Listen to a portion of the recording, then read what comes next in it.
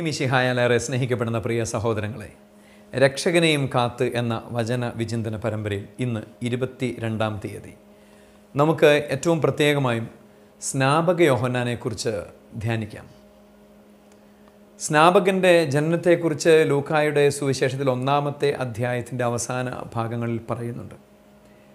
സ്നാപകന്റെ ജനനത്തെക്കുറിച്ച് Gabriel ദൂതൻ സക്രിയായിക്കും സക്രിയായിക്കും മുൻ മുന്നറിയിപ്പ് കൊടുത്തിരുന്നതുമാണ്. അതായത് എലിസബത്തിന്റെ ഉദരത്തിൽ സ്നാപക യോഹന്നാൻ ഉരുവാകുന്നതിന് മുമ്പ് തന്നെ സ്നാപകന്റെ ജനനത്തെക്കുറിച്ചും സ്നാപകൻ ആരായിരിക്കണമെന്നും സ്നാപകൻ എപ്രകാരം ജീവിക്കുന്ന വ്യക്തിയാണെന്നും സ്നാപകാന്റെ ദൗത്യം എന്താണെന്നും എല്ലാം ഗബ്രിയൽ ദൂതൻ സക്രിയായി അറിയിച്ചിട്ടുണ്ട്. അതിനർത്ഥം എന്താണ്? അതിനർത്ഥം മറ്റൊന്നുമല്ല. സ്നാപക യോഹന്നാൻ ജനിക്കുന്നതിന് മുമ്പ് തന്നെ സ്നാപകനെക്കുറിച്ചുള്ള പദ്ധതികൾ ദൈവത്തിന്റെ മനസ്സിലുണ്ട്. അതാ ജർമ്മയുടെ പുസ്തകത്തിലും പറയുന്ന ഒന്നാമത്തെ നാലാമത്തെ നാലാമത്തെ തിരുവചനത്തിൽ നീ നിന്റെ മാതാവിന്റെ ഉദരത്തിൽ ഉരുവാകുന്നതിന് മുമ്പ് തന്നെ നിന്നെക്കുറിച്ച് ഞാൻ അറിഞ്ഞിരുന്നു. നിന്നെക്കുറിച്ചുള്ള പദ്ധതികൾ എനിക്കുണ്ട്. ആ വചനം അതായത് ഓരോ ജനനത്തിന് പിന്നിലും ഓരോരുത്തരും ജനിക്കുന്നതിന് മുമ്പ് തന്നെ അവരെക്കുറിച്ച് ദൈവം കൃത്യമായ പദ്ധതികൾ മെനഞ്ഞിട്ടുണ്ട്. എന്റെ ജനനത്തെക്കുറിച്ച് ദൈവത്തിന് കൃത്യമായ പദ്ധതിയുണ്ട്. നിന്റെ ജനനത്തെക്കുറിച്ച് ദൈവത്തിന് കൃത്യമായ പദ്ധതിയുണ്ട്. അതായത് ഓരോ മനുഷ്യക്കുഞ്ഞും ജനിക്കുന്നത് ദൈവത്തിന്റെ പദ്ധതിയാലും ദൈവം അവരിലൂടെ പൂർത്തീകരിക്കുവാൻ വേണ്ടി തീരുമാനിച്ചിരിക്കുന്ന ദൗത്യത്താലും തന്നെയാണ്.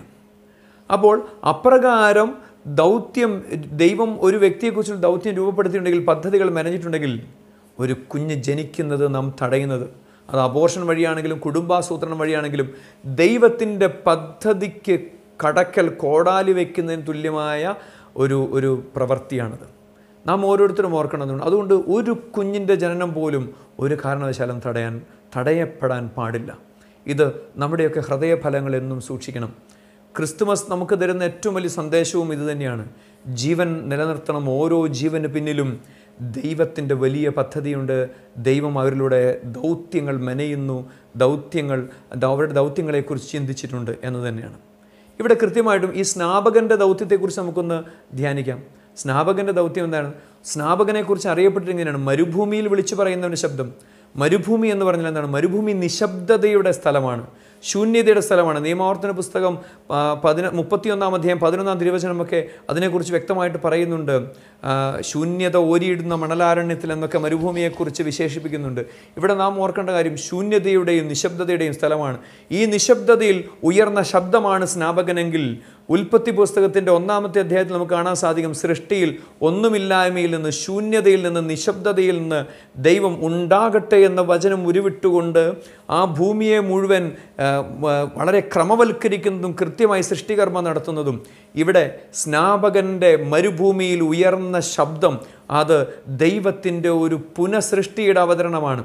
ശൂന്യതയിൽ ഉയർന്ന ശബ്ദം അത് വചനത്തെ സ്വീകരിക്കുവാൻ വേണ്ടിയുള്ള ഒരു ആഹ്വാനമായി കർത്താവിന്റെ പാതകൾ നേരെയാക്കുവാൻ വേണ്ടിയുള്ള ആഹ്വാനമായി മരുഭൂമിയിൽ വിളിച്ചു പറയുന്നവന്റെ ശബ്ദം ശബ്ദമായി നിശബ്ദതയിൽ നിന്നും ശൂന്യതയിൽ നിന്നും സ്നാപകന്റെ ശബ്ദം ഉയർന്നിട്ടുണ്ടെങ്കിൽ ഞാനും നീയും ഓർക്കണം സ്നാപകൻ ഇവിടെ തന്റെ ദൈവത്തിന്റെ വചനത്താൽ ദൈവത്തിന്റെ വചനത്താൽ ക്രിസ്തുവിന് ക്രിസ്തുവിന് മിശിഹായ്ക്ക് വഴിയൊരുക്കിക്കൊണ്ട് മനുഷ്യരെ മുഴുവൻ ഒരു പുതു സൃഷ്ടിയാകാൻ വേണ്ടി ഒരുക്കുകയും അതിനുവേണ്ടി വിളിക്കുകയും ചെയ്യുകയാണ്. അതായത് സ്നാപകന്റെ ദൗത്യം പുതു സൃഷ്ടിയാക്കുക എന്ന് എന്ന് തന്നെയാണ്. ക്രിസ്തുമസ് കാലഘട്ടത്തിൽ നമ്മൾ ഓരോരുത്തരും ഓർക്കണം നമ്മൾ ഓരോരുത്തരും ഓർക്കണം.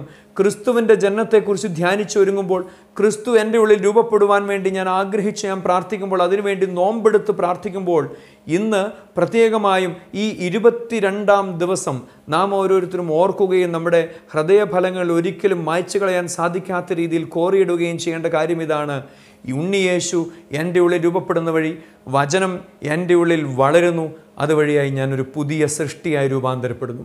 ഒരു പുതിയ സൃഷ്ടിയാകുവാനുള്ള ദൈവത്തിന്റെ ആഹ്വാനത്തോട് ഞാൻ യെസ് പറയുകയാണ്. ഈ ക്രിസ്മസ് കാലത്തിൽ ഉണ്ണീശോ എന്റെ ഹൃദയത്തിലേക്ക് ഞാൻ സ്വീകരിക്കുന്ന വഴി ചെയ്യുന്നത്. ഈ ഇരുപത്തിയഞ്ച് നോമ്പ് നമ്മോട് ആവശ്യപ്പെടുന്നതും അതുതന്നെയാണ് ഉണ്ണിയേശുവിനെ സ്വീകരിച്ചുകൊണ്ട് പുന പുതിയ സൃഷ്ടിയായി തീരുക എന്ന എന്ന വലിയൊരു ദൗത്യം വചനമായി തീരുവാനുള്ള വചനത്തിൽ ജീവിക്കുവാനുള്ള വചനം നൽകുവാനുള്ള വലിയൊരു ദൗത്യം ഈ ഒരു കൃപയിൽ വളരുവാനും ജീവിക്കുവാനും നമുക്ക് തമ്പുരാനോട് പ്രാർത്ഥിക്കാം. ഇന്നേ ദിവസം നമുക്ക് സുഹൃതജമമായി ഇങ്ങനെ അപേക്ഷിക്കാം. ഉണ്ണിമിശിഹായെ ഒരു പുതു സൃഷ്ടിയായി അവിടുന്ന് മാറ്റുവാൻ എന്റെ ഹൃദയത്തിൽ വന്ന് പിറക്കണമേ. ആമേൻ. കണ്ടു ദൂരെ